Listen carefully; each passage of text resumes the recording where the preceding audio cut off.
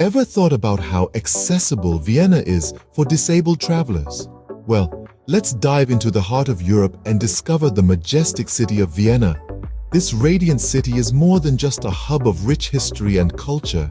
It's a melting pot of stunning architecture, from imperial palaces to modern marvels, all under the backdrop of the breathtaking Austrian landscapes. But what truly sets Vienna apart is its commitment to inclusivity and accessibility. The city is well equipped with a plethora of facilities and services specifically designed for disabled travelers.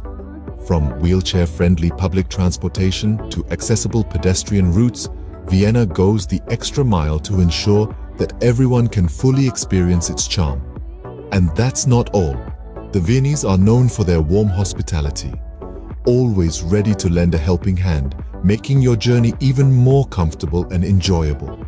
So, are you ready to embark on this exciting journey? Let's explore Vienna together. Getting around a new city can be daunting, but not in Vienna. The city is designed with everyone in mind, including our disabled friends. Vienna's public transportation system is a model of accessibility. The city's trams glide through the streets with easy-on, easy-off platforms that make them wheelchair-friendly.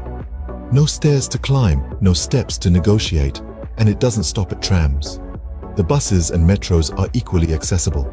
Wide doors, spacious interiors and priority seating areas make for a comfortable journey whether you're standing on two feet or rolling on four wheels. But what if you prefer a more personal mode of transport?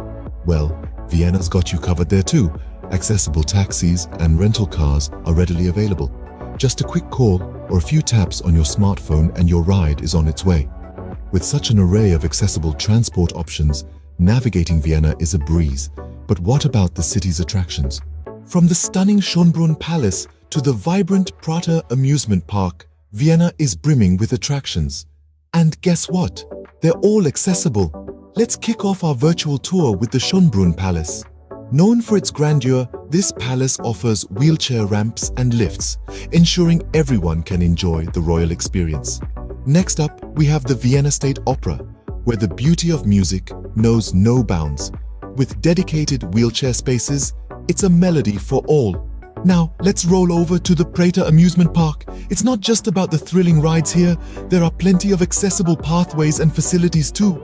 And who can forget the Belvedere Museum, home to some of the world's finest art? They provide tactile tours and audio guides for visually impaired visitors.